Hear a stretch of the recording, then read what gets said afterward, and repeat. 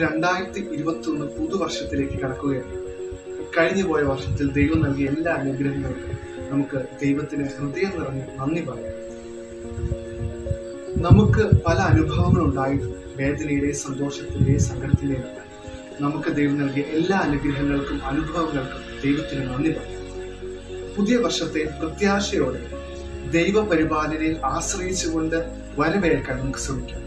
രണ്ട് കോറിന്തോസ് ഒമ്പത് എട്ട് നിങ്ങൾക്ക് ആവശ്യമുള്ളതെല്ലാം സദാ സമൃദ്ധമായി നൽകാനും സൽകൃത്യങ്ങൾ ധാരാളം ചെയ്യാനും വേണ്ട അനുഗ്രഹങ്ങൾ സമൃദ്ധമായി നൽകാൻ കഴിവുള്ളവനാണ് നമ്മുടെ ദൈവം.